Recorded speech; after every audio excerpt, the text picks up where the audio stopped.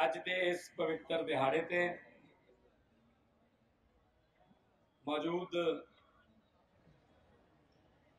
ਸਾਰੀਆਂ ਸੰਗਤਾਂ, ਸ਼ੋਭਾ ਯਾਤਰਾ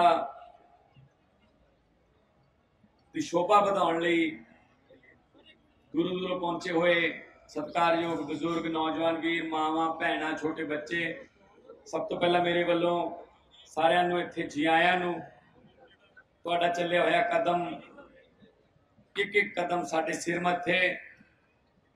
ਔਰ ਮੇਰੇ ਵੱਲੋਂ ਸਾਰਿਆਂ ਨੂੰ ਨਮਸਕਾਰ, ਸਤਿ ਸ੍ਰੀ ਅਕਾਲ। ਜੈ ਗੁਰੂ ਰਵਿਦਾਸ। ਵੀਰੋ, ਮੈਨੂੰ ਉਸ ਵੇਲੇ ਬੜਾ ਦੁੱਖ ਹੁੰਦਾ ਹੈ। ਜਦੋਂ ਹਰ ਜਗ੍ਹਾ ਤੇ ਮੈਂ ਜਾਣਾ ਤੇ ਕਿਹਾ ਜਾਂਦਾ ਕਿ ਪਹਿਲੀ ਵਾਰ ਕੋਈ ਆਇਆ। ਮੈਨੂੰ ਦੁੱਖ ਹੁੰਦਾ ਕਿ ਤੂੰ ਪਹਿਲਾਂ ਵਾਲੇ ਕਿਉਂ ਨਹੀਂ ਆਏ? ਨਾ ਕਿਸੇ ਸ਼ਹੀਦਾਂ ਦੇ ਜਨਮ ਦਿਨ ਤੇ ਜਾਂ ਬਰਸੀ ਤੇ ਗਏ, ਨਾ ਕਿਸੇ ਗਰੀਬਾਂ ਦੇ ਕਿਸੇ ਗੁਰਧਾਮਾਂ ਤੇ ਗਏ, ਨਾ ਕਿਸੇ ਪੀਰਾਂ, ਫਕੀਰਾਂ ਦੀ ਜਗ੍ਹਾ ਤੇ ਗਏ, ਨਾ ਕਿਤੇ ਲੋਕਾਂ ਦੀ ਆਸਥਾ ਦੇ ਮੁਤਾਬਕ ਸੰਤ ਜਾਂ ਗੁਰੂ ਰਵਿਦਾਸ ਵਰਗੇ ਉਹ ਲੋਕ ਜਿਹੜੇ ਮਾਨਵਤਾ ਦਾ ਸੁਨੇਹਾ ਦੇਣਗੇ ਨੇ, ਉਹਨਾਂ ਦੀ ਕਿਸੇ ਸ਼ੋਭਾ ਯਾਤਰਾ ਚ ਆਏ। ਫਿਰ ਰਹੇ ਕਿੱਥੇ? ਇਸੇ ਕਰਕੇ ਉਹ ਹੁਣ ਉੱਥੇ ਹੀ ਨੇ, ਜਿੱਥੇ ਰਹਿੰਦੇ ਸੀ। ਲੋਕਾਂ ਨੇ ਉਹਨਾਂ ਨੂੰ ਉੱਥੇ ਬਿਠਾਤਾ। ਅੱਜ 646ਵਾਂ ਪ੍ਰਗਟ ਦਿਵਸ ਮਨਾ ਰਹੇ ਹਾਂ ਸ੍ਰੀ ਗੁਰੂ ਰਵਿਦਾਸ ਜੀ ਦਾ, ਜਿਸ ਵੇਲੇ ਵਾਰਾਣਸੀ ਦੀ ਧਰਤੀ ਤੇ ਇਹ ਚੰਨ ਚੜਿਆ ਸੀ। ਚਾਨਣ ਮੁਨਾਰਾ ਲੈ ਕੇ ਉਸ ਵੇਲੇ ਸਮਾਜ ਦੇ ਵਿੱਚ ਜਾਤ ਪਾਤ ਊਚ ਨੀਚ ਦਾ ਬਹੁਤ ਤਾਣਾ ਉਲਝਿਆ ਹੋਇਆ ਸੀ, ਜਕੜਿਆ ਹੋਇਆ ਸੀ ਸਮਾਜ। ਤਾਂ ਸ੍ਰੀ ਗੁਰੂ ਰਵਿਦਾਸ ਜੀ ਨੇ ਦਬੇ ਕੁਚਲੇ ਲੋਕਾਂ ਨੂੰ ਅਣਖ ਨਾਲ ਔਰ ਆਪਣੇ ਸੈਲਫ ਕੌਨਫੀਡੈਂਸ ਨਾਲ ਜਿਉਣ ਦਾ ਸੁਨੇਹਾ ਦਿੱਤਾ। ਸ੍ਰੀ ਗੁਰੂ ਗ੍ਰੰਥ ਸਾਹਿਬ ਜੀ ਚ ਜਿੰਨੀ ਵੀ ਬਾਣੀ ਸ੍ਰੀ ਗੁਰੂ ਰਵਿਦਾਸ ਜੀ ਦੀ ਹੈ, ਉਹ ਸਾਰੀ ਮਾਨਵਤਾ ਦਾ ਸੁਨੇਹਾ ਦਿੰਦੀ ਹੈ। ਕੋਈ ਢਿੱਡ ਭੁੱਖਾ ਨਾ ਰਹੇ, ਇਸ ਗੱਲ ਦਾ ਸੁਨੇਹਾ ਦਿੰਦੀ ਹੈ। ਸਾਰੇ ਇੱਕੋ ਹੀ ਨੇ, ਇਸ ਗੱਲ ਦਾ ਸੁਨੇਹਾ ਦਿੰਦੀ ਹੈ। ਹਜੇ ਉਹ ਸੰਗਲ ਸਾਰੇ ਖੁੱਲੇ ਨਹੀਂ। ਹਜੇ ਵੀ ਬਹੁਤ ਸਾਰਾ ਅਸੀਂ ਜਗ੍ਹਾ ਜਗ੍ਹਾ ਤੋਂ ਸੁਣਦੇ ਆ ਕਿ ਊਚ ਨੀਚ ਰੱਖੀ ਜਾਂਦੀ ਹੈ। ਪਰਮਾਤਮਾ ਵੱਲੋਂ ਕੋਈ ਊਚ ਨੀਚ ਨਹੀਂ। ਸੋ ਜਦੋਂ ਸਾਡੀ ਸਰਕਾਰ ਬਣੀ।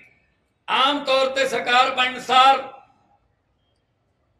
ਸਰਕਾਰੀ ਦਫ਼ਤਰਾਂ 'ਚ ਫੋਟੋਆਂ ਬਦਲ ਜਾਂਦੀਆਂ ਨੇ। ਪੁਰਾਣੇ ਮੁੱਖ ਮੰਤਰੀ ਦੀ ਲਾ ਕੇ ਨਵੇਂ ਮੁੱਖ ਮੰਤਰੀ ਦੀ ਲੱਗ ਜਾਂਦੀ ਹੈ। ਪਰ ਅਸੀਂ ਪਹਿਲੇ ਦਿਨ ਹੀ ਆਰਡਰ ਕੀਤਾ, ਭਗਵੰਤ ਮਾਨ ਦੀ ਫੋਟੋ ਨਹੀਂ ਲੱਗੂਗੀ। ਇੱਥੇ ਸ਼ਹੀਦ ਭਗਤ ਸਿੰਘ ਤੇ ਡਾਕਟਰ ਭੀਮ ਰਾਓ ਅੰਬੇਦਕਰ ਜੀ ਦੀ ਫੋਟੋ ਲੱਗੂਗੀ। ਇੱਕ ਨੇ ਆਜ਼ਾਦੀ ਲੈ ਕੇ ਦਿੱਤੀ ਇੱਕ ਨੇ ਆਜ਼ਾਦੀ ਤੋਂ ਬਾਅਦ ਸਾਨੂੰ ਸਮਝ ਦਿੱਤੀ ਕਿ ਸਾਰੇ ਬਰਾਬਰ ਆ। ਸਾਰਿਆਂ ਨੂੰ ਇਕੱਠਿਆਂ ਨੂੰ ਉੱਪਰ ਉੱਠਣਾ ਪਊਗਾ। ਕਿਸੇ ਇੱਕ ਨੂੰ ਦੱਬ ਕੇ ਦੂਜੇ ਨੂੰ ਉੱਪਰ ਚੱਕ ਕੇ ਨਹੀਂ ਕਰ ਸਕਦੇ। ਆਪਣੀ ਲਕੀਰ ਵੱਡੀ ਕਰੋ, ਦੂਜੇ ਦੀ ਲਕੀਰ ਛੋਟੀ ਨਾ ਕਰੋ। ਪਰਿਆ ਦੇ ਵਿੱਚ ਤਾਂ ਜਾਵਾਂਗਾ, ਜੇ ਉੱਥੇ ਕਿਸੇ ਖਾਸ ਬੰਦੇ ਲਈ ਮੰਜੀ ਕੋਈ ਨਾ ਡੱਠੇ, ਉਹ ਮਾੜੇ ਨੂੰ ਅਲੱਗ ਬੰਨਣ ਨਾਲੋਂ ਤਕੜੇ ਦੇ ਸਿੰਘ ਭੰਨੋ, ਸਾਂਝੀ ਖੁਰਲੀ ਵਿੱਚੋਂ ਜਿਹੜਾ ਖਾਣ ਨਹੀਂ ਦਿੰਦਾ ਪੱਠੇ। ਸੋ ਸਭ ਨੂੰ ਬਰਾਬਰ ਹੱਕ ਮਿਲਣਾ ਚਾਹੀਦਾ। ਡਾਕਟਰ ਭੀਮ ਰਾਓ ਅੰਬੇਦਕਰ ਜੀ ਨੇ ਸਿੱਖਿਆ ਦਾ ਨਾਰਾ ਦਿੱਤਾ। ਐਜੂਕੇਸ਼ਨ ਅਸੀਂ ਉਹ ਸੁਪਨੇ ਨੂੰ ਪੂਰਾ ਕਰਨ ਲਈ ਲੱਗੇ ਹੋਏ ਹਾਂ। ਮਾਨਯੋਗ ਸ਼੍ਰੀ ਅਰਵਿੰਦ ਕੇਜਰੀਵਾਲ ਜੀ, ਸਿੱਖਿਆ 'ਚ ਕ੍ਰਾਂਤੀ ਲੈਣਾ ਚਾਹੁੰਦੇ ਨੇ ਦੇਸ਼ ਦੇ ਵਿੱਚ, ਪੂਰੇ ਦੇਸ਼ ਦੇ ਵਿੱਚ। ਪੰਜਾਬ ਤੇ ਦਿੱਲੀ ਸਾਡੀ ਸਰਕਾਰ ਹੈ। ਅਸੀਂ ਸਿੱਖਿਆ ਦੇ ਵਿੱਚ ਦਿੱਲੀ ਦੇ ਵਿੱਚ ਕਾਇਆ ਪਲਟ ਕਰਤਾ। ਪੰਜਾਬ ਦੇ ਵਿੱਚ ਸ਼ੁਰੂ ਕਰਨ ਲੱਗੇ। ਅੱਜ ਸਵੇਰੇ 9 ਵਜੇ 36 ਸਰਕਾਰੀ ਸਕੂਲਾਂ ਦੇ ਪ੍ਰਿੰਸੀਪਲਾਂ ਨੂੰ 에ਅਰਪੋਰਟ ਵਾਸਤੇ ਰਵਾਨਾ ਕਰਕੇ ਆਇਆ ਸਿੰਗਾਪੁਰ ਤੋਂ ਟ੍ਰੇਨਿੰਗ ਲੈ ਕੇ ਆਉਣਗੇ ਤੇ ਆਪਣੇ ਗਰੀਬਾਂ ਦੇ ਬੱਚਿਆਂ ਨੂੰ ਪੜਾਉਣਗੇ ਸਰਕਾਰੀ ਸਕੂਲਾਂ 'ਚ ਕੌਣ ਪੜਦਾ ਹੈ? ਗਰੀਬਾਂ ਦੇ ਬੱਚੇ। ਸਰਕਾਰੀ ਹਸਪਤਾਲਾਂ 'ਚ ਕੌਣ ਇਲਾਜ ਕਰਾਉਣ ਜਾਂਦਾ ਹੈ? ਗਰੀਬ ਜਾਂਦਾ ਹੈ। ਸੋ ਅਸੀਂ ਇਹ ਸੋਚਿਆ ਸਿੱਖਿਆ ਤੇ ਸਿਹਤ। ਇਹ ਅਸੀਂ ਬਰਾਬਰ ਕਰ ਦੇਣੀ ਹੈ। ਕੁਝ ਮਹੀਨਿਆਂ ਬਾਅਦ ਪੰਜਾਬ ਦੇ ਵਿੱਚ ਤੁਹਾਡੇ ਕੋਲੇ ਆਪਸ਼ਨ ਹੋਊਗੀ ਕਿ ਤੁਸੀਂ ਬੱਚਾ ਪ੍ਰਾਈਵੇਟ ਸਕੂਲ 'ਚ ਪੜਾਉਣਾ ਹੈ ਜਾਂ ਸਰਕਾਰੀ 'ਚ ਪੜਾਉਣਾ ਹੈ। ਮਰਜ਼ੀ ਤੁਹਾਡੀ ਹੈ, ਪੜ੍ਹਾਈ ਦਾ ਲੈਵਲ ਇੱਕੋ ਜਿਹਾ ਹੈ, ਪਰ ਉਧਰ ਫੀਸ ਲੱਗਦੀ ਹੈ, ਇੱਧਰ ਫੀਸ ਵੀ ਨਹੀਂ ਲੱਗਦੀ। ਜਿਵੇਂ ਦਿੱਲੀ ਦੇ ਵਿੱਚ ਹੋਇਆ ਝੁੱਗੀ ਝੋਪੜੀਆਂ ਦਾ ਬੱਚਾ ਇੱਕ ਰੇਲਵੇ ਬ੍ਰਿਜ ਦੇ ਥੱਲੇ ਰੇੜੀ ਲਾ ਕੇ ਪ੍ਰੈਸ ਕਰਨ ਵਾਲੇ ਦਾ ਬੱਚਾ ਤੇ ਇੱਕ ਜੱਜ ਦਾ ਬੱਚਾ ਇੱਕੋ ਬੈਂਚ ਤੇ ਪੜਨ ਲਾਤੇ ਅਰਵਿੰਦ ਕੇਜਰੀਵਾਲ ਜੀ ਨੇ ਇੱਕੋ ਬੈਂਚ ਤੇ ਬੈਠ ਨਹੀਂ, ਪਹਿਲਾਂ ਕੀ ਹੁੰਦਾ ਸੀ? ਅਮੀਰਾਂ ਦੀਆਂ ਕਿਤਾਬਾਂ ਹੀ ਹੋਰ ਨੇ। ਸਾਨੂੰ ਕਿਤਾਬਾਂ ਹੀ ਨਹੀਂ ਮਿਲਦੀਆਂ, ਉਹ ਜਿਹੜੀਆਂ ਅਫਸਰ ਬਣਾਉਂਦੀਆਂ ਨੇ। ਉਹਨਾਂ ਦੇ ਸਕੂਲ ਹੀ ਹੋਰ ਨੇ, ਸਾਨੂੰ ਸਕੂਲ ਹੀ ਨਹੀਂ ਮਿਲਦੇ ਉਹ, ਜਿਹੜੇ ਅਫਸਰ ਬਣਾਉਂਦੇ ਨੇ। ਉਹਨਾਂ ਦੇ ਟੀਚਰ ਹੋਰ ਨੇ। ਸਾਡੇ ਟੀਚਰਾਂ ਕੋਲੇ ਵੀ ਬਹੁਤ ਸਾਰੀ ਪੋਟੈਂਸ਼ੀਅਲ ਹੈਗੀ ਹੈ, ਪਰ ਮੌਕਾ ਹੀ ਨਹੀਂ ਮਿਲਦਾ। ਸੋ ਅਸੀਂ ਹੁਣ ਸਾਡੇ ਟੀਚਰਾਂ ਨੂੰ ਟ੍ਰੇਨਿੰਗ ਦਵਾਵਾਂਗੇ। ਅੱਜ ਦੇ ਪੜ੍ਹਾਈ ਦੇ ਲੇਟੈਸਟ ਤਰੀਕੇ ਨਾਲ। ਇੱਕ ਗੱਲ ਮੈਂ ਤੁਹਾਨੂੰ ਕਹਿ ਦਿੰਦਾ ਮੀਡੀਆ ਸਾਰਾ ਜਲੰਧਰ ਦਾ ਖੜਾ ਹੈ। ਕੋਈ ਸਰਕਾਰ ਵੋਟਾਂ ਵੇਲੇ ਆ ਕੇ ਕਵੇ, ਅਸੀਂ ਤੁਹਾਡੀ ਗਰੀਬੀ ਖਤਮ ਕਰ ਦਿਆਂਗੇ, ਗਰੀਬੀ ਹਟਾ ਦਿਆਂਗੇ, ਗਰੀਬੀ ਚੋਂ ਬਾਹਰ ਕੱਢ ਲਾਂਗੇ। ਸਭ ਝੂਠ ਬੋਲਦੇ ਨੇ। ਜੇ ਗਰੀਬੀ ਹਟਾ ਸਕਦੇ ਆ ਤਾਂ ਇਹਨਾਂ ਦੇ ਬੱਚੇ ਹਟਾ ਸਕਦੇ ਆ। ਜੇ ਉਹ ਪੜ੍ਹ ਲਿਖ ਜਾਣ, ਪੜ੍ਹ ਕੇ ਅਫਸਰ ਬਣ ਜਾਣ, ਤਾਂ ਉਹ ਗਰੀਬੀ ਹਟੇਗੀ ਬੜੇ ਮਾਣ ਨਾਲ ਕਹਿੰਦੇ ਆ ਸਾਡੇ ਨੇਤਾ ਕਿ ਅਸੀਂ 80 ਕਰੋੜ ਲੋਕਾਂ ਨੂੰ ਚਾਵਲ ਤੇ ਆਟਾ ਤੇ ਦਾਲ ਦਿੰਨੇ ਆ। ਮਾਣ ਨਾਲ ਕਹਿੰਦੇ ਆ। ਇਹਦਾ ਮਤਲਬ ਤੁਸੀਂ ਇਹ ਮੰਨਦੇ ਹੋ 125 30 ਕਰੋੜ ਚੋਂ 80 ਕਰੋੜ ਦਾ ਆਟਾ ਕਮਾਉਣ ਜੋਗੇ ਵੀ ਨਹੀਂ ਛੱਡੇ ਤੁਸੀਂ। ਉਹ ਸਾਨੂੰ ਕੰਮ ਦੇ ਦਿਓ ਬਈ। ਸਾਨੂੰ ਰੋਜ਼ਗਾਰ ਦੇ ਦਿਓ। ਸਾਨੂੰ ਭਿਖਾਰੀ ਨਾ ਬਣਾਓ। ਅਸੀਂ ਪੰਜਾਬ ਦੇ ਨੌਜਵਾਨਾਂ ਨੂੰ, ਪੰਜਾਬ ਦੇ ਨੌਜਵਾਨ ਮੁੰਡੇ ਕੁੜੀਆਂ ਨੂੰ ਨੌਕਰੀਆਂ ਮੰਗਣ ਵਾਲੇ ਨਹੀਂ, ਨੌਕਰੀਆਂ ਵੰਡਣ ਵਾਲੇ ਬਣਾਵਾਂਗੇ। ਨੌਕਰੀਆਂ ਵੰਡਣ ਵਾਲੇ। ਸੋ ਚਰਨ ਛੋ ਪ੍ਰਾਪਤ ਧਰਤੀ ਹੈ, ਸ੍ਰੀ ਗੁਰੂ ਰਵਿਦਾਸ ਜੀ ਦੀ। ਉਹਨਾਂ ਦੀ ਬਾਣੀ ਦੇ ਵਿੱਚੋਂ ਜੇ ਆਪਾਂ ਦੋ ਸ਼ਲੋਕ ਵੀ ਪੜ੍ਹ ਲਈ ਉਹਦੇ ਤੇ ਅਰਥ ਕਰਨ ਲੱਗ ਜੀਏ ਤਾਂ ਵੀ ਕਈ ਕਿਤਾਬਾਂ ਲਿਖੀਆਂ ਜਾਣਗੀਆਂ। ਐਡੇ ਵੱਡੇ ਬੰਦੇ ਸੀ ਉਹ। ਕਿਆ ਸੋਚ ਸੀ ਉਹਨਾਂ ਦੇ ਉਦੋਂ। ਉਸ ਵੇਲੇ ਤੇ ਕਿਉਂਕਿ ਉਹਨਾਂ ਦੀ ਲੇਵ ਪਰਮਾਤਮਾ ਨਾਲ ਲੱਗੀ ਹੋਈ ਸੀ, ਇਸ ਕਰਕੇ ਵੱਡੇ ਵੱਡੇ ਜਿਹੜੇ ਆਪਣੇ ਆਪ ਨੂੰ ਕਹਾਉਂਦੇ ਸੀ ਉੱਚੇ ਜਾਤੀਆਂ ਵਾਲੇ ਡੰਡੌਤਾਂ ਕਰਦੇ ਉਹਨਾਂ ਦੇ ਪੈਰਾਂ ਦੇ ਵਿੱਚ ਆ ਕੇ ਟਿਕਦੇ ਹੁੰਦੇ ਸੀ, ਡੰਡੌਤਾਂ ਕਰਦੇ। ਇਹ ਲੇਵ ਲੱਗਣ ਦੀ ਗੱਲ ਹੈ ਜੀ। ਇਹ ਲਿਵ ਲੱਗਣ ਦੀ ਗੱਲ ਹੈ। ਉਹਨਾਂ ਲੋਕਾਂ ਨੂੰ ਕੋਈ ਯਾਦ ਨਹੀਂ ਰੱਖਦਾ ਜਿਹੜੇ ਬੈਂਕਾਂ 'ਚ ਖਾਤੇ ਖਿਲਾ ਕੇ ਤੁਰ ਜਾਂਦੇ ਨੇ ਤੇ ਉਹਨਾਂ ਲੋਕਾਂ ਨੂੰ ਕੋਈ ਬੰਦਾ ਨਹੀਂ ਭੁੱਲਦਾ ਜਿਹੜੇ ਲੋਕਾਂ ਦੇ ਦਿਲਾਂ 'ਚ ਖਾਤੇ ਖਿਲਾਉਂਦੇ ਨੇ। ਸ੍ਰੀ ਗੁਰੂ ਰਵਿਦਾਸ ਜੀ ਵਰਗੇ ਸ਼ਹੀਦ ਆਜ਼ਮ ਭਗਤ ਸਿੰਘ, ਰਾਜਗੁਰੂ ਸੁਖਦੇਵ, ਗੁਰੂ ਗੋਬਿੰਦ ਸਿੰਘ ਜੀ, ਗੁਰੂ ਨਾਨਕ ਸਾਹਿਬ ਇਹਨਾਂ ਨੇ ਬੈਂਕਾਂ 'ਚ ਖਾਤੇ ਨਹੀਂ ਖਿਲਾਏ। ਇਹਨਾਂ ਨੇ ਦਿਲਾਂ 'ਚ ਖਾਤੇ ਖਿਲਾਏ ਹੋਏ। ਸੋ ਅੱਜ ਬੜਾ ਭਾਰੀ ਸ਼ੋਭਾ ਯਾਤਰਾ ਨਿਕਲ ਰਹੀ ਹੈ। ਜਗ੍ਹਾ ਜਗ੍ਹਾ ਤੇ ਪੂਰੀ ਦੁਨੀਆ 'ਚ। ਫਗਵਾੜਾ, ਫਲੌਰ, ਉਧਰ ਸਾਡੇ ਸੰਗਰੂਰ ਵੱਲ ਜਿੱਥੇ ਵੀ ਲੋਕ ਹੈਗੇ ਨੇ, ਸ਼ਰਧਾ ਨਾਲ ਪੂਜਦੇ ਨੇ, ਪੂਜਣਾ ਚਾਹੀਦਾ। ਸਾਡੇ ਗੁਰੂ ਨੇ, ਬੱਚਿਆਂ ਨੂੰ ਆਉਣ ਵਾਲੀਆਂ ਪੀੜ੍ਹੀਆਂ ਨੂੰ ਪਤਾ ਹੋਣਾ ਚਾਹੀਦਾ। ਕਿ ਸਾਡੇ ਗੁਰੂਆਂ ਨੇ ਕੀ ਲਿਖਿਆ ਅਸੀਂ ਉਹਨਾਂ ਦੇ ਪਾਏ ਹੋਏ ਪੂਰਨਿਆਂ ਤੇ ਚੱਲੀਏ ਅੱਜ ਸਮਾਜ ਜਿੱਦ ਜਾ ਰਿਹਾ ਹੈ ਜੇ ਰੋਕ ਸਕਦੇ ਤਾਂ ਸਾਡੇ ਗੁਰੂਆਂ ਦੀਆਂ ਜਿਹੜੀਆਂ ਸਿੱਖਿਆਵਾਂ ਨੇ ਉਹੀ ਰੋਕ ਸਕਦੀਆਂ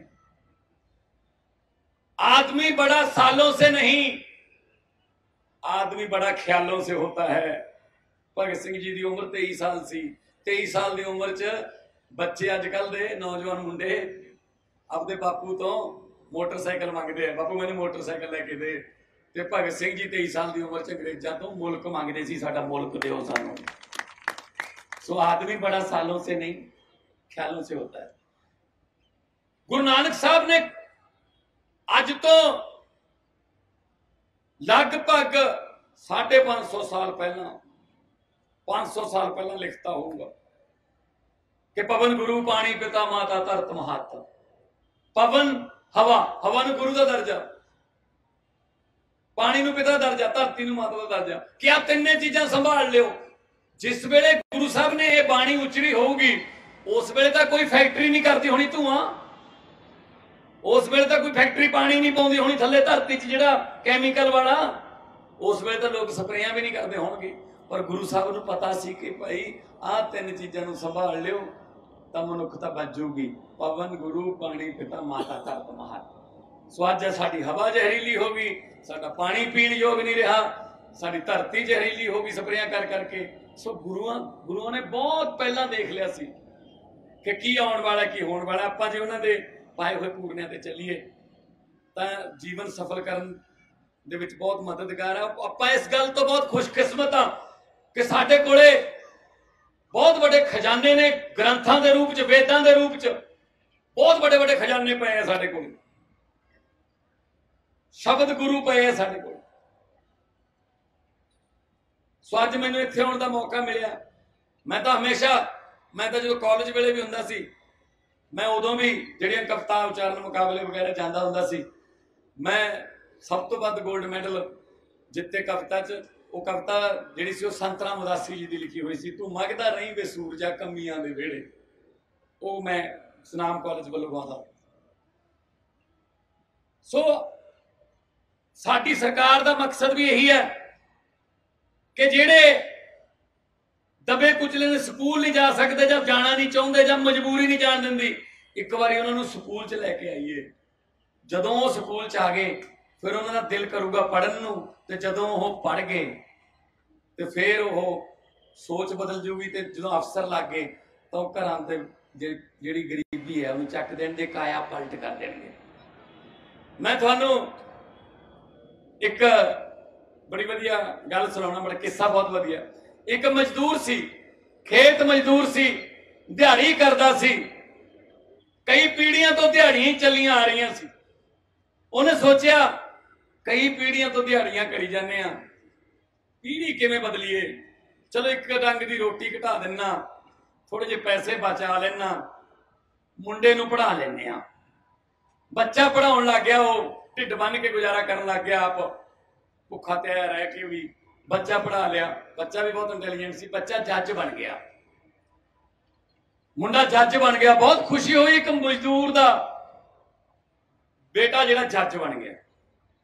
ਤੇ ਜਦੋਂ ਉਹਨੇ ਪਹਿਲੇ ਦਿਨ ਕੁਰਸੀ ਸੰਭਾਲਣੀ ਸੀ ਤਾਂ ਉਹ ਮਜ਼ਦੂਰ ਨੂੰ ਖੁਸ਼ੀ ਸੀ, ਮੇਰਾ ਪੋਤਾ ਅੱਜ ਕੁਰਸੀ ਤੇ ਬੈਠੂਗਾ, ਉਹ ਵੀ ਚਲਾ ਗਿਆ। ਜੱਜ ਸਾਹਿਬ ਜਿਹੜੇ ਸੀ, ਉਹ ਆਪਣੇ ਚੈਂਬਰ 'ਚ ਬੈਠੇ ਸੀ। ਪਿਛਲੇ ਦਰਵਾਜ਼ੇ ਤੋਂ ਪਿਤਾ ਜੀ ਆਏ। ਤੇ ਉਹਨਾਂ ਨੇ ਉਹਦੇ ਮੋਢੇ ਤੇ ਹੱਥ ਰੱਖ ਕੇ ਕਹਿੰਦੇ, ਪੁੱਤ, ਬਹੁਤ ਬਹੁਤ ਵਧਾਈਆਂ। ਉਹ ਕਹਿੰਦਾ, ਬਾਪੂ ਜੀ, ਤੁਹਾਨੂੰ ਵੀ ਵਧਾਈਆਂ। ਕਹਿੰਦਾ, ਪੁੱਤ, ਹੁਣ ਇੱਕ ਗੱਲ ਦੱਸ। ਇਸ ਵਕਤ ਭਲਾ ਦੱਸ, ਦੁਨੀਆ ਤੇ ਸਭ ਤੋਂ ਵੱਧ ਖੁਸ਼, ਸਭ ਤੋਂ ਵੱਧ ਖੁਸ਼ ਨਸੀਬ ਤੇ ਸਭ ਤੋਂ ਵੱਧ ਤਾਕਤਵਰ ਬੰਦਾ ਕੌਣ ਹੈ ਬਈ? ਉਹ ਮੁੰਡਾ ਕਹਿੰਦਾ, ਬਾਪੂ ਜੀ, ਮੈਂ ਆ ਕਹਿੰਦਾ, ਮੈਂ ਕਿਸੇ ਨੂੰ ਵੀ ਬਰੀ ਕਰ ਸਕਦਾ, ਕਿਸੇ ਨੂੰ ਵੀ ਮੈਂ ਸਜ਼ਾ ਦੇ ਸਕਦਾ। ਬਾਪੂ ਦਾ ਥੋੜਾ ਜਿਹਾ ਦਿਲ ਟੁੱਟ ਗਿਆ। ਕਹਿੰਦਾ ਫੇਰ ਦੱਸਦੇ ਉੱਥੇ ਖੜੇ ਖੜੇ ਨਹੀਂ ਪੁੱਛਿਆ। ਇਸ ਵਕਤ ਸਭ ਤੋਂ ਵੱਧ ਖੁਸ਼, ਸਭ ਤੋਂ ਵੱਧ ਖੁਸ਼ ਨਸੀਬ ਤੇ ਸਭ ਤੋਂ ਵੱਧ ਤਾਕਤਵਰ ਕੌਣ ਬੰਦਾ ਹੋ ਦੁਨੀਆ 'ਚ? ਉਹ ਕਹਿੰਦਾ, ਬਾਪੂ ਜੀ, ਮੈਂ ਆ ਚਲੋ। ਕਹਿੰਦਾ, ਚੰਗਾ ਜੀ, ਬਹੁਤ ਬਹੁਤ ਮੁਬਾਰਕਾਂ ਫਿਰ। ਜਾਣ ਲੱਗਿਆ ਗੇਟ ਤੇ ਜਾ ਕੇ, ਫਿਰ ਥੋੜਾ ਜਿਹਾ ਪਿਓ ਵਾਲਾ, ਪਿਆਰ ਜਾ ਗਿਆ, ਬਾਪ ਵਾਲਾ। ਉਹ ਕਹਿੰਦਾ, ਫੇਰ ਦੱਸ ਦੇ, ਸਭ ਤੋਂ ਵੱਧ ਖੁਸ਼, ਸਭ ਤੋਂ ਵੱਧ ਖੁਸ਼ ਨਸੀਬ ਸਭ ਤੋਂ ਵੱਧ ਤਾਕਤਵਰ ਕੌਣ ਹੈ? ਉਹ ਕਹਿੰਦਾ, ਪਿਤਾ ਜੀ, ਤੁਸੀਂ ਹੋ। ਪਿਤਾ ਜੀ ਵਾਪਸ ਆ ਗਏ। ਕਹਿੰਦੇ 15 ਸਕਿੰਟ ਪਹਿਲਾਂ ਮੈਂ ਦੋ ਵਾਰੀ ਪੁੱਛਿਆ ਸੀ ਇੱਥੇ ਖੜ ਕੇ ਕਿ ਸਭ ਤੋਂ ਵੱਧ ਖੁਸ਼ ਖੁਸ਼ ਤੇ ਤਾਕਤਵਰ ਕੌਣ ਹੈ? ਤੂੰ ਆਪਣਾ ਨਾਂ ਲਿਆ ਸੀ।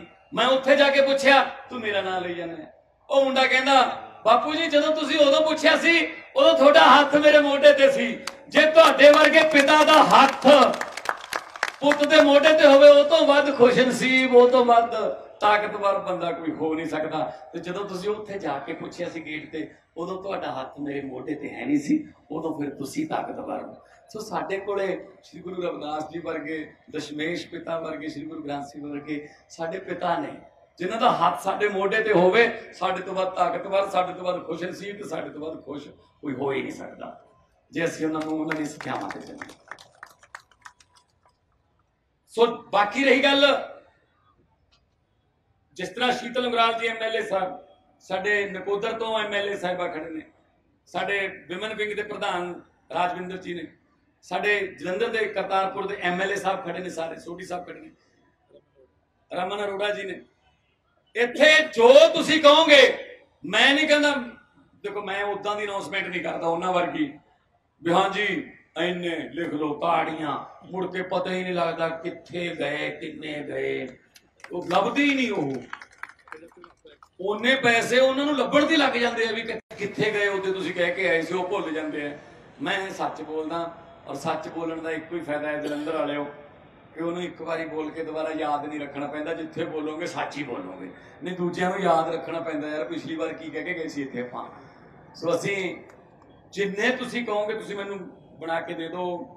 ਪ੍ਰੋਜੈਕਟ, ਕੋਈ ਲੰਗਰ ਹਾਲ ਹੈ, ਕੋਈ ਕਮਿਊਨਿਟੀ ਹਾਲ ਹੈ, ਕੋਈ ਕੁਛ ਵੀ, ਕੋਈ ਖੂਬਸੂਰਤੀ ਮੰਦਰ ਦੀ ਕੋਈ ਕਰਨੀ ਹੈ, ਕਿਉਂਕਿ ਦੇਖੋ ਆਪਣੀ ਸ਼ਰਧਾ ਹੈ।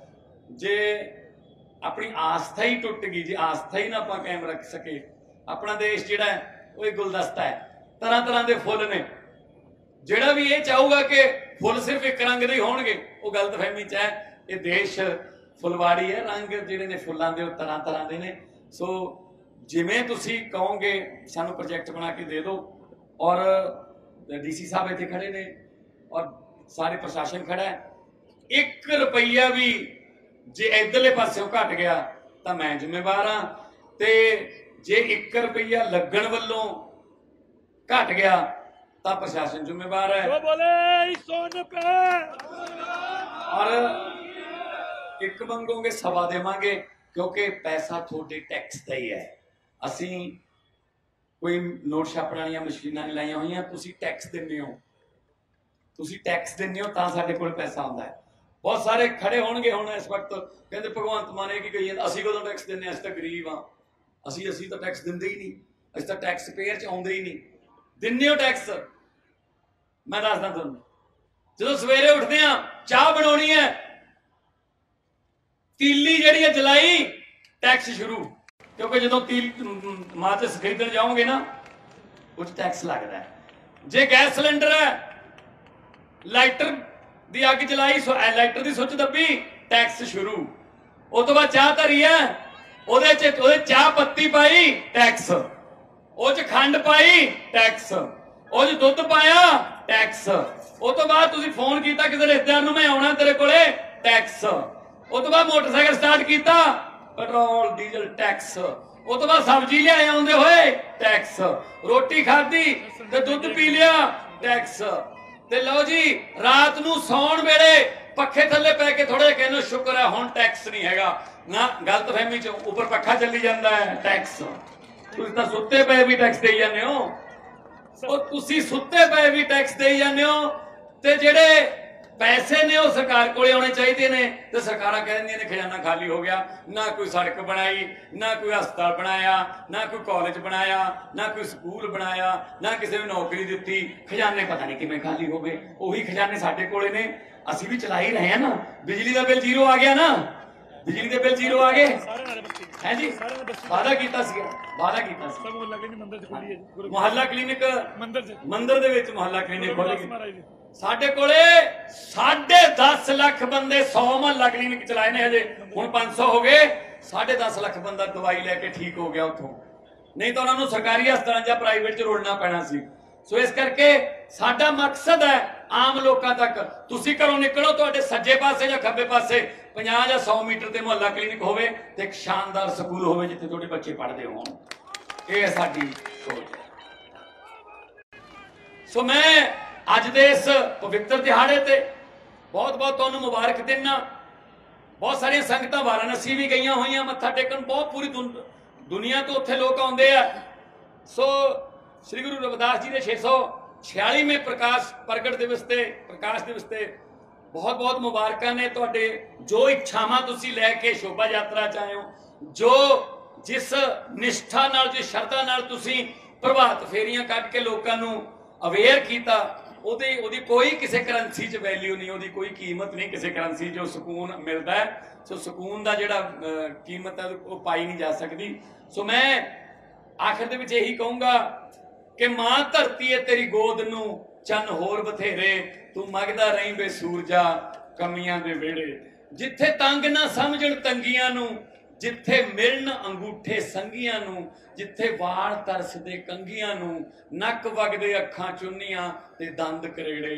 ਤੂੰ ਮੰਗਦਾ ਰਹੀਂ ਬੇ ਸੂਰਜਾ, ਕਮੀਆਂ ਦੇ ਵੇੜੇ ਸੋ ਮੇਰੇ ਵੱਲੋਂ ਇਹੀ ਅਰਦਾਸ ਹੈ ਕਿ ਸੂਰਜ ਜਿਹੜਾ ਤਰੱਕੀ ਦਾ, ਉਹ ਕਮੀਆਂ ਦੇ ਵੇੜੇ ਮੰਗਦਾ ਰਵੇ। ਸੂਰਜ ਜਿਹੜਾ ਤਰੱਕੀ ਦਾ, ਉਹ ਸਾਰੀਆਂ ਕਿਰਨਾਂ ਜਿਹੜੀਆਂ ਤੰਦਰੁਸਤੀ ਵਾਲੀਆਂ, ਉਹ ਸਾਰੇ ਪੰਜਾਬ ਦੇ ਵਿਹੜਿਆਂ 'ਚ ਜਿਹੜੀ ਹੈ, ਉਹ ਕਿਰਨਾਂ ਫੈਲਣ।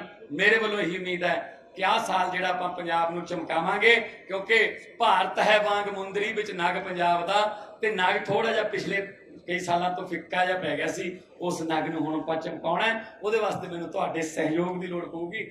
ਕੋਈ ਵੀ ਚੀਜ਼, ਕੋਈ ਬੰਦਾ ਇਕੱਲਾ ਨਹੀਂ ਕਰ ਸਕਦਾ। ਤੁਸੀਂ ਮੇਰੇ ਨਾਲ ਆਓ। ਮੈਂ ਇਹ ਨਹੀਂ ਕਹਿੰਦਾ ਮੇਰੇ ਪਿੱਛੇ ਲੱਗੋ। ਮੇਰੇ ਬਰਾਬਰ ਆਓ। ਆਪਾਂ ਸਾਰੇ ਮਿਲ ਕੇ ਪੰਜਾਬ ਨੂੰ ਦੁਬਾਰੇ ਪੰਜਾਬ ਬਣਾਈਏ। ਕੈਲੀਫੋਰਨੀਆ, ਲੰਡਨ, ਪੈਰਿਸ ਬਣਾਉਣ ਦੀ ਲੋੜ ਨਹੀਂ। ਸਾਨੂੰ ਸਾਡਾ ਪੰਜਾਬ ਹੀ ਮੋੜ ਦਿਓ। ਅਸੀਂ ਪੰਜਾਬ ਬਣਾ ਲਈਏ। ਬਹੁਤ ਬਹੁਤ ਧੰਨਵਾਦ। ਬਹੁਤ ਬਹੁਤ ਤੁਹਾਡਾ ਮਿਹਰਬਾਨੀ। ਇੱਥੇ ਤੁਸੀਂ ਇੰਨੇ ਟਾਈਮ ਤੋਂ ਖੜੇ ਹੋ। ਸ਼ੋਭਾ ਯਾਤਰਾ ਹੁਣ ਸ਼ੁਰੂ ਹੋਊਗੀ। ਸਾਰੇ ਟਰੈਕਟਰਾਂ ਵਾਲੇ ਜਿੰਨੇ ਵੀ ਵੀਰ ਨੇ 150 ਟਰਾਲੀਆਂ ਕਹਿੰਦੇ ਉਹ ਖੜੇ ਨੇ। ਤੇ ਸਾਰਿਆਂ ਨੂੰ ਮੇਰੇ ਵੱਲੋਂ ਬਹੁਤ ਬਹੁਤ ਮੁਬਾਰਕਬਾਦ ਹੈ। ਔਰ ਸਾਰੇ ਜਿਵੇਂ ਵੀ ਤੁਸੀਂ ਕਹੋਗੇ ਜਿੰਨਾ ਵੀ ਤੁਸੀਂ ਜਿਹੜੀ ਇਹ ਪਤਾ ਕੀ ਹੈ? ਮੰਦਰ ਕਮੇਟੀ ਸਰ ਸਾਰੀ ਇਹਨਾਂ ਤੁਸੀਂ ਸਾਨੂੰ ਬਣਾ ਕੇ ਦਿਓ ਜੀ ਲਿਸਟ। ਸਾਡੇ ਵਾਲਾ ਕੰਮ ਇਹ ਹੁੰਦਾ ਜੀ ਸਾਡਾ ਤਾਂ ਜਿੱਦੇ ਜਿੱਦੇ ਲਿਸਟ ਆ ਗਈ ਉਹਦੇ ਤੁਹਾਨੂੰ ਪੈਸੇ ਦੇ ਦਾਂਗੇ। ਉਹ ਨਾਲ ਦੀ ਨਾਲ ਤੁਸੀਂ ਜੇ ਚੰਡੀਗੜ੍ਹ ਆਏ ਤੁਹਾਡੇ ਜਲੰਧਰ ਆਉਣ ਤੋਂ ਪਹਿਲਾਂ ਪੈਸੇ ਅਕਾਊਂਟ 'ਚ ਪਏ ਹੋਣਗੇ ਕਿਉਂਕਿ ਸਾਡਾ ਕੰਮ ਇਹ ਹੈ। ਅਸੀਂ ਜੋ ਕਹਿੰਦੇ ਆ ਉਹ ਕਰਦੇ ਆ ਜੋ ਕਰ ਨਹੀਂ ਸਕਦੇ ਅਸੀਂ ਕਹਿੰਦੇ ਹੀ ਨਹੀਂ ਹੈਗੇ। ਫਾਇਦਾ ਕੀ ਹੋਇਆ ਫਿਰ? ਪੰਜ ਕੰਮ ਕਹਿ ਕੇ ਚਾਰ ਕੀਤੇ ਤਾਂ ਲੋਕ ਕਹਿਣਗੇ ਪੂਰੇ ਨਹੀਂ ਕੀਤੇ। ਪਹਿਲੇ ਹੀ ਚਾਰ ਕਹਿ ਲਓ, ਜੇ ਕਰ ਸਕਦੇ ਹੋ, ਤਾਂ ਲੋਕ ਕਹਿਣਗੇ 100% ਕੋਈ। ਚਾਰ ਕਹਿ ਕੇ ਪੰਜ ਕਰ ਦਾਂਗੇ। ਹੁਣ ਬਹੁਤ ਸਾਰੇ ਕੰਮ ਇਹੋ ਜਿਹੇ ਵੀ ਨੇ ਜਿਹੜੀਆਂ ਗਰੰਟੀਆਂ ਅਸੀਂ ਦਿੱਤੀਆਂ ਨਹੀਂ ਸੀ। ਐਮਐਲਏ ਦੀਆਂ ਪੈਨਸ਼ਨਾਂ ਘਟਾਉਣ ਦੀ, ਕੱਟਣ ਦੀ ਗਰੰਟੀ ਤਾਂ ਨਹੀਂ ਦਿੱਤੀ ਸੀ ਪਰ ਪਾਉਣ ਸਰ ਉਹ ਕੰਮ ਕਰਤਾ। ਤੇ ਆ ਜਿਹੜੇ ਜਿਹੜੇ ਰਿਸ਼ਵਤਖੋਰ ਨੇ, ਜਿਨ੍ਹਾਂ ਨੇ ਲੁੱਟਣ ਦਾ ਮਨ ਬਣਾ ਰੱਖਿਆ, ਗਰੀਬਾਂ ਨੂੰ ਗਰੀਬ ਹੀ ਲੁੱਟੀ ਜਾਂਦੇ ਆ। ਆ ਮੰਤਰੀ ਜਿਹੜੇ ਨੇ, ਉਹਨਾਂ ਨੇ ਲੁੱਟੇ ਹੀ ਆਪਦੇ ਆ। ਚਾਹੇ ਪ੍ਰੀ ਮੈਟ੍ਰਿਕ ਸਕਾਲਰਸ਼ਿਪ ਕਿਹਨੇ ਲੁੱਟਿਆ ਤੁਹਾਡੇ ਆਪਣੇ ਬਰਾਦਰੀ ਨੇ, ਆਪਣੀ ਬਰਾਦਰੀ ਨੂੰ। ਕੌਣ? ਆਪਣੇ ਆਪਾਂ ਨੂੰ ਲੁੱਟੀ ਜਾਂਦੇ ਆ। ਦੁੱਖ ਇਸ ਗੱਲ ਦਾ ਹੋ ਰਿਹਾ ਸੋਨੇ ਤੇ ਲੋਹੇ ਦੀ ਦੁਕਾਨ ਆਮੋ ਸਾਹਮਣੇ ਸੀ ਬਾਜ਼ਾਰ 'ਚ। ਸੋਨੇ ਨੇ ਲੋਹੇ ਨੂੰ ਕਿਹਾ, ਥੋੜਾ ਤੇਰੇ ਤੇ ਵੀ ਚੱਲਦਾ ਹੈ, ਥੋੜਾ ਮੇਰੇ ਤੇ ਵੀ ਚੱਲਦਾ ਹੈ। ਮੇਰੀ ਆਵਾਜ਼ ਸੁਣੀ ਹੈ ਕਦੇ ਦੁਕਾਨ ਤੋਂ ਬਾਹਰ? ਕਹਿੰਦਾ, ਤੇਰੀ ਸਾਰੇ ਬਾਜ਼ਾਰ 'ਚ ਆਵਾਜ਼ ਸੁਣਦੀ ਹੁੰਦੀ ਜੇ ਤੇਰੇ ਥੋੜਾ ਵੱਜਦਾ ਹੈ। ਤਾਂ ਲੋਹਾ ਕਹਿੰਦਾ, ਬਿਲਕੁਲ ਸਹੀ ਗੱਲ ਹੈ ਤੇਰੀ। ਮੇਰੇ ਵੀਰ, ਸੋਨਿਆ ਥੋੜਾ ਤੇਰੇ ਤੇ ਵੀ ਲੋਹੇ ਦਾ ਚੱਲਦਾ, ਥੋੜਾ ਮੇਰੇ ਤੇ ਵੀ ਚੱਲਦਾ ਹੈ। ਤੇਰੀ ਆਵਾਜ਼ ਨਹੀਂ ਆਉਂਦੀ, ਮੇਰੀ ਆਵਾਜ਼ ਆਉਂਦੀ ਹੈ। ਕਿਉਂਕਿ ਲੋਹੇ ਦਾ ਥੋੜਾ ਤੇਰੇ ਲਈ ਬਗਾਨਾ ਹੈ। ਤੂੰ ਸੋਨਾ ਉਹ ਲੋਹਾ ਹੈ, ਸ਼ਰੀਕ ਹੈ। ਸ਼ਰੀਕਾਂ ਨੇ ਤਾਂ ਕੁੱਟਣਾ ਹੀ ਹੁੰਦਾ, ਸ਼ਰੀਕਾਂ ਦਾ ਕੰਮ ਹੋਰ ਕੀ ਹੁੰਦਾ ਹੈ? ਬਗਾਨਿਆਂ ਨੂੰ ਤਾਂ ਕੁੱਟਣਾ ਹੀ ਹੁੰਦਾ ਹੈ। ਤੇ ਕਹਿੰਦਾ, ਮੈਨੂੰ ਦੁੱਖ ਇਸ ਗੱਲ ਦਾ, ਮੈਨੂੰ ਮੇਰੇ ਆਪਣੇ ਕੁੱਟਦੇ ਨੇ, ਇਸ ਕਰਕੇ ਮੈਨੂੰ ਜ਼ਿਆਦਾ ਦਰਦ ਹੁੰਦਾ ਹੈ। ਸਾਨੂੰ ਜ਼ਿਆਦਾ ਦੁੱਖ ਇਸ ਗੱਲ ਦਾ, ਸਾਨੂੰ ਸਾਡੇ ਆਪਣਿਆਂ ਨੇ ਲੁੱਟਿਆ ਅੰਗਰੇਜ਼ ਨਹੀਂ ਲੁੱਟੇ। ਅੰਗਰੇਜ਼ ਤਾਂ ਆਪ ਸ਼ਰਮਾਉਂਦੇ ਹੋਣਗੇ ਵੀ 200 ਸਾਲ ਚ ਉਹਨਾਂ ਕੰਮ ਨਹੀਂ ਕਰ ਸਕੇ ਜਿੰਨਾ ਇੰਡੀਆ ਵਾਲੇ 200 ਦੋ ਦੋ ਸਾਲਾਂ ਚ ਕਰ ਦਿੰਦੇ ਨੇ। 2 ਸਾਲਾਂ ਚ ਲੁੱਟ ਲੈਂਦੇ ਆ। ਇਹ ਸਾਰੀ ਪੰਜਾਬ ਚ ਰਿਸ਼ਵਤਖੋਰੀ ਇਹ ਲੁੱਟ ਖਸੁੱਟ ਸਾਰੀ ਬੰਦ ਹੋਊਗੀ। ਆਮ ਲੋਕਾਂ ਦੀ ਖੱਜਲ ਖੁਆਰੀ ਬੰਦ ਹੋਊਗੀ ਦਫ਼ਤਰਾਂ 'ਚ। ਤੁਹਾਨੂੰ ਮਾਨ ਸਨਮਾਨ ਮਿਲੂਗਾ, ਇੱਜ਼ਤ ਮਿਲੂਗੀ ਔਰ ਤੁਹਾਡੇ ਕੰਮ ਹੋਣਗੇ ਔਰ ਪਹਿਲੇ ਬੋਲ ਤੇ ਕੰਮ ਹੋਣਗੇ। ਇਹੀ ਸਾਡੀ ਸਰਕਾਰ ਦਾ ਮਕਸਦ ਵੀ ਹੈ। ਔਰ ਨਹੀਂ ਤਾਂ ਸਰਕਾਰਾਂ ਬਣਾਉਣ 'ਚ ਕੀ ਹੈ? ਮੈਂ ਸ਼ੋਰ ਤਾਂ ਮੈਂ ਤਾਂ ਪਹਿਲਾਂ ਹੀ ਮਸ਼ਹੂਰ ਸੀ ਬਹੁਤ। ਮੈਨੂੰ ਕਿਹੜਾ ਕਿਸੇ ਟੀਵੀ ਤੇ ਆਉਣ ਦਾ ਚਾਹ ਜਾਂ ਕੋਈ ਕਿਸੇ ਅਖਬਾਰ 'ਚ ਫੋਟੋ ਛਪਾਉਣ ਦਾ ਚਾਹ ਹੈ। ਉਹ ਤਾਂ ਮੈਂ ਨਵੇੜੀ ਬੈਠਾ। ਪਰ ਪ੍ਰਮਾਤਮਾ ਨੇ ਮੇਰੀ ਇੱਕ ਡਿਊਟੀ ਲਾਈ ਹੈ ਕਿ ਭਾਈ ਸੇਵਾ ਕਰੋ ਪੰਜਾਬ ਦੀ ਤਾਂ ਮੈਂ ਉਹ ਸੇਵਾ ਨਿਭਾਉਂਗਾ ਮੈਂ ਇਹੀ ਅਰਦਾਸ ਕਰਦਾ ਸ੍ਰੀ ਗੁਰੂ ਰਵਿਦਾਸ ਜੀ ਅੱਗੇ, ਸ੍ਰੀ ਗੁਰੂ ਗ੍ਰੰਥ ਸਾਹਿਬ ਜੀ ਅੱਗੇ ਕਿ ਬਲ ਬਖਸ਼ੇ ਔਰ ਬੁੱਧੀ ਬਖਸ਼ੇ ਔਰ ਇੰਨਾ ਕੁ ਬਲ ਬਖਸ਼ੇ ਕਿ ਚੰਗੇ ਫੈਸਲੇ ਕਰੀਏ ਔਰ ਕੋਈ ਗਲਤ ਫਾਈਲ ਤੇ ਸਾਈਨ ਨਾ ਹੋ ਜਾਣ। ਇਸ ਗੱਲ ਦੀ ਬੁੱਧੀ ਬਖਸ਼ੇ। ਬਹੁਤ ਬਹੁਤ ਤੁਹਾਡਾ ਧੰਨਵਾਦ, ਬਹੁਤ ਬਹੁਤ ਮਿਹਰਬਾਨੀ। ਜੈ ਗੁਰਦੇਵ ਬਹੁਤ ਬਹੁਤ ਮਿਹਰਬਾਨੀ। ਬਹੁਤ ਬਹੁਤ ਧੰਨਵਾਦ ਮਾਨਯੋਗ ਮੁੱਖ ਮੰਤਰੀ ਸਾਹਿਬ।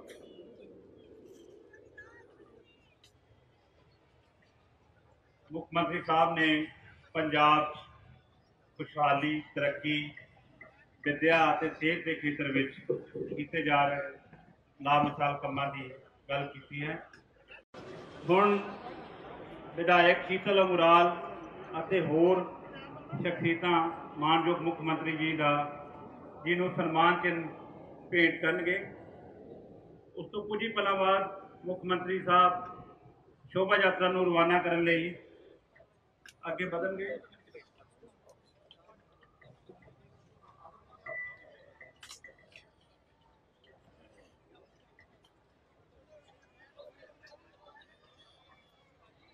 बोले सो निर्भय सदगुरु रविदास महाराज की जय।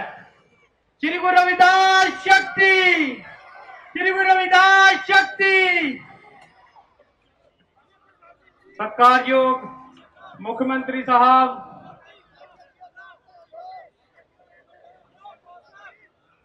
ਗੁਰੂ ਮਹਾਰਾਜ ਜੀ ਦੇ ਚਰਨਾਂ ਦੇ ਵਿੱਚ ਨਤਮਸਤਕ ਹੁੰਦੇ ਹੋਏ ਉਹਨਾਂ ਦੇ ਨਾਲ ਜਲੰਧਰ ਵੈਸਟ ਤੋਂ ਵਿਧਾਇਕ ਸ਼ੀਤਲ ਉਂਗਰਾਲ ਜੀ, ਵਿਧਾਇਕ ਰਮਨ ਅਰੋੜਾ ਜੀ, ਵਿਧਾਇਕ ਕਰਤਾਰਪੁਰ ਤੋਂ ਬਲਕਾਰ ਸਿੰਘ ਜੀ, ਸੋਢੀ ਸਾਹਿਬ, ਮੈਡਮ ਰਾਜਵਿੰਦਰ ਕੌਰ ਥਿਆੜਾ ਜੀ ਉਹਨਾਂ ਦੇ ਨਾਲ ਮੈਡਮ ਨਕੋਦਰ ਤੋਂ ਐਮਐਲਏ, ਮੈਡਮ ਮਾਨ ਜੀ, ਮੈਂ ਹੁਣ ਮੁੱਖ ਮੰਤਰੀ ਸਾਹਿਬ, ਸਾਰੀਆਂ ਹੀ ਪ੍ਰਬੰਧਕ ਕਮੇਟੀਆਂ, ਸ਼੍ਰੀ ਗੁਰੂ ਰਵਿਦਾਸ ਮਹਾਰਾਜ ਜੀ ਦੀਆਂ, ਕਟਰਾ ਮਹੱਲਾ, ਮੰਦਿਰ ਬਸਤੀ 9 ਬਸਤੀ ਗੁਜਾ, ਸ਼ਾਸਤਰੀ ਨਗਰ, ਨਿਊ ਸ਼ਾਸਤਰੀ ਨਗਰ ਦੇ ਸਾਰੇ ਹੀ ਆਗੂਆਂ ਦੇ ਨੂੰ ਸਨਮਾਨਿਤ ਕਰਦੇ ਹੋਏ ਔਰ ਸਾਰੇ ਹੀ ਆਗੂ ਸਹਿਬਾਨ, ਮੁੱਖ ਮੰਤਰੀ ਸਾਹਿਬ ਦਾ ਸਨਮਾਨ ਕਰਦੇ ਹੋਏ ਚੁੰਗੀ ਨੰਬਰ 9 ਤੋਂ ਅਜੇ ਕੁਮਾਰ ਜੀ, ਲੁਭਾਇਆ ਜੀ, ਰਾਮ ਲੁਭਾਇਆ ਜੀ, ਉਹਨਾਂ ਦੇ ਨਾਲ ਸਾਰੇ ਹੀ ਸਾਡੇ ਸਤਿਕਾਰਯੋਗ ਸਤੀਸ਼ ਸਾਈਂ ਜੀ ਵੀ ਪਹੁੰਚੇ ਹਨ। ਸ਼ੋਭਾ ਯਾਤਰਾ ਨੂੰ ਨਾਲ ਲੈ ਕੇ ਉਹਨਾਂ ਦਾ ਵੀ ਇੱਥੇ ਆਉਣ ਤੇ ਹਾਰਦਿਕ ਸਵਾਗਤ ਹੈ, ਅਭਿਨੰਦਨ ਹੈ। ਐਮਐਲਏ ਸਾਹਿਬ ਮੁੱਖ ਮੰਤਰੀ ਸਾਹਿਬ ਫੀਤਾ ਕੱਟ ਕੇ ਸ਼ੋਭਾ ਯਾਤਰਾ ਨੂੰ ਰਵਾਨਗੀ ਦੇ ਰਹੇ ਹਨ, ਕਰ ਰਹੇ ਹਨ। ਮੈਂ ਦਿਲ ਦੀ ਗਹਿਰਾਈਆਂ ਤੋਂ ਧੰਨਵਾਦ ਕਰਦਾ ਹਾਂ ਆਪਣੇ ਮਹਿਬੂਬ ਨੇਤਾ, ਪੰਜਾਬ ਦੇ ਮੁੱਖ ਮੰਤਰੀ ਸਰਦਾਰ ਭਗਵੰਤ ਸਿੰਘ ਮਾਨ ਜੀ ਦਾ। ਇੱਥੇ ਆਨ ਸ਼੍ਰੀ ਗੁਰੂ ਰਵਿਦਾਸ ਸ਼ਕਤੀ! ਸ਼੍ਰੀ ਗੁਰੂ ਰਵਿਦਾਸ ਸ਼ਕਤੀ! ਨਾਰੀਅਲ ਤੋੜ ਕੇ ਸ਼ੁਭਾਰੰਭ ਕੀਤਾ ਗਿਆ ਮੁੱਖ ਮੰਤਰੀ ਸਾਹਿਬ ਵੱਲੋਂ। ਸਾਰਿਆਂ ਦਾ ਇੱਥੇ ਆਉਣ ਤੇ ਸਾਰੀ ਸਮੂਚੀ ਟੀਮ ਦਾ ਇੱਥੇ ਆਉਣ ਤੇ ਸਾਰਿਆਂ ਦਾ, ਸਾਰਿਆਂ ਵੱਲੋਂ ਹਾਰਦਿਕ ਅਭਿਨੰਦਨ ਹੈ, ਸਵਾਗਤ ਹੈ, ਧੰਨਵਾਦ ਹੈ। ਬਹੁਤ ਬਹੁਤ ਧੰਨਵਾਦ ਸਾਰਿਆਂ ਵੱਲੋਂ। ਜੈ ਗੁਰੂਦੇਵ, ਧੰਨ ਗੁਰੂਦੇਵ। ਆਰੰਭ ਹੋ ਗਿਆ ਹੈ ਸ਼ੋਭਾ ਯਾਤਰਾ ਨੂੰ ਚੱਲਣ ਦਾ ਤੇ ਸ਼ੋਭਾ ਯਾਤਰਾ ਨਾਲ ਤੋਰੀ ਜਾਵੇ, ਹੁਣ ਸ਼ੁਰੂ ਕਰ ਦਿੱਤਾ ਜਾਵੇ।